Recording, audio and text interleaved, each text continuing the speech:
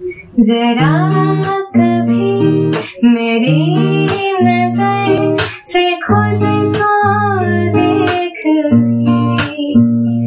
है चाँद में भेदाग पर न तुझ में कभी